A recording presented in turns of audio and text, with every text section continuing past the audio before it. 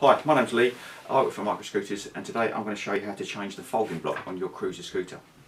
Um, if you've got any problems with folding and unfolding, it might be a problem with the folding block or some of these buttons may well have got stuck in. So I'm going to show you how we do that. To start with, what we're going to do is I'm going to undo the locking clamp here. And then with the locking clamp on this side, if we just take a little bit of tension, so just push in where that pivot is, and then a knurled nut that's on this side, we're just going to do that in, we're going to screw that in as far as we can as tight as we can. Right. So now we've done that, what I'm going to show you can do, what we're going to do now is remove this little pin, this little clip that's on the end of this pin. So what we're going to try and do is this sleeve clip here, that holds the pin in place that holds the locking clamp together. So what we're going to try and do is just going to try and get that off. So we've just got a little pick, and we just get it in the little gap. I'm just going to work it out. So there we go. We've got the little C-clip there and we're just going to put that to one side. Now we remove the C-clip, we just need to undo this little knob nut here. So it's just normal anti-clockwise thread. And we just undo that. We can push it through. And then we put it out from one side. And on this side as well, there's a plunger and there's a spring and I'll show you how to put that back together again once we, uh, once we reassemble. Now what we need to do is using the two Allen keys that, that came with the scooter itself is remove this axle bolt here and it bolts to itself. So there's one on each side. So I do it like this so you can see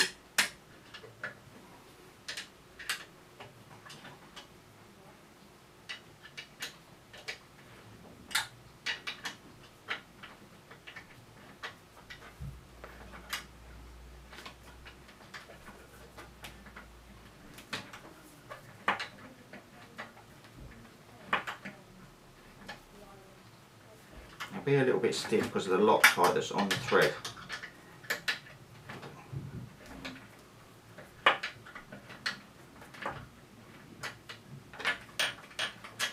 There we go, that's one half of it.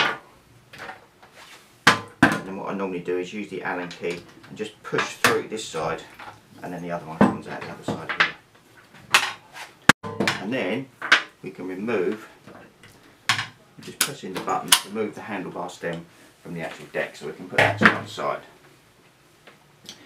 Then we've got two more bolts that we need to remove. Kickstand bolts which are this side. They bolted through onto the other side.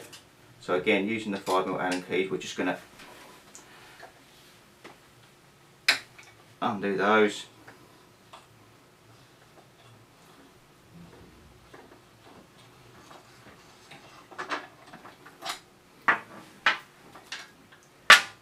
one side and then the front ones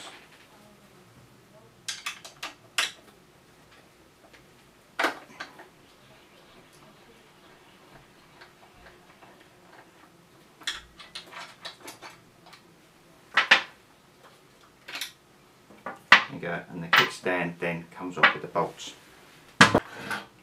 That then should uh, enable us to remove the folding block.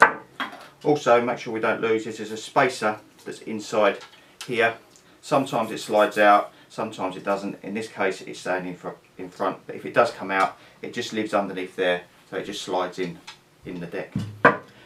Right, assembly is just the reverse, but I'll take you through it. We're going to take our new folding block, place it in. Our um, kickstand will go to the left hand side as we're standing on the scooter and then the short bolts, the little the little black ones, um, go in on the left hand side with the kickstand, and they go through. We'll put them both in so we can hold the kickstand in place, and then the longer ones we'll just push through, and we're just going to start them off, making sure that the thread's good. same with the back one.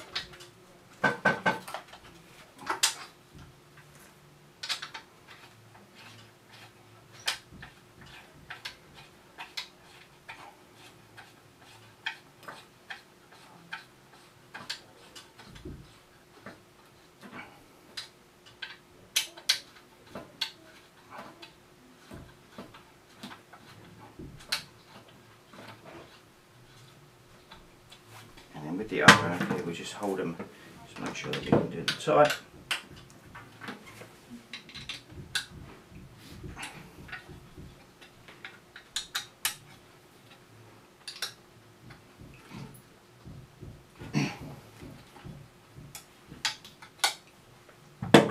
There we are, then we've got our folding block attached to the deck.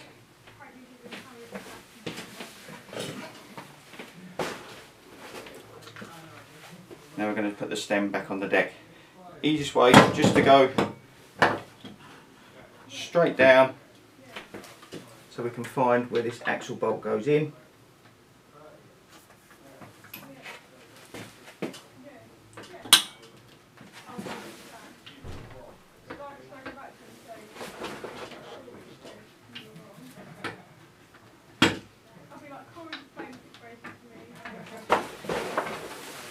Case of lining the hole up.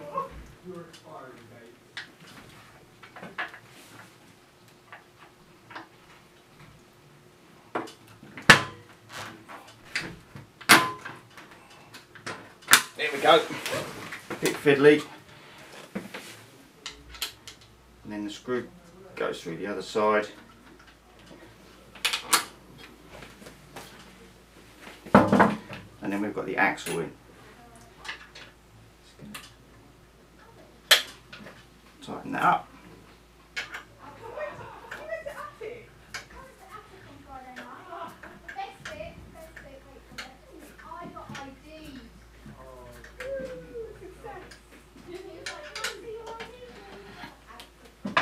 Now with this bolt here, this axle bolt, it tightens against itself.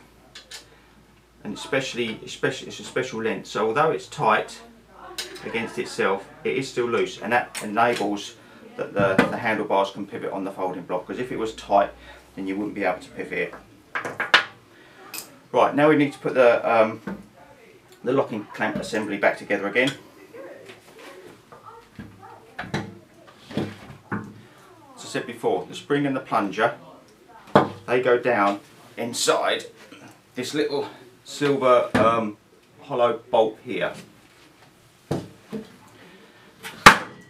So the spring goes over the plunger and then the plunger with a top hat sits upwards like that. So you can just push it in and out. Now the locking clamp, where the, the recess is, the hole is, the plunger sits inside that and the threaded and the threaded area goes in through the hole um, through the through the plate. So it goes like that. And then the threaded part comes pushing through the other end. Now the knurled nut that we took off, we're just going to screw back on. And we need to screw it back in as far as we can, like I showed you when we was undoing it, because we need to put that little clip back on. So that's in as far as I can, and then we should be able to show you how to get the, the C-clip back on. Right, so I've got the little C-clip here, and what I'm going to do, it's going to be a bit fiddly, I'm just going to sit it on top of the recess, and then with a little screwdriver I'm just going to push down on the end of the C-clip and you feel and you'll feel a positive click. There we go, that's clicked on. Now we just back that off a little bit now. What need to do now is just back this little knurled nut off a little bit just so we've got the right tension on this locking clamp. So it's a little bit stiff on that side so I'm just going to back it off a little bit more.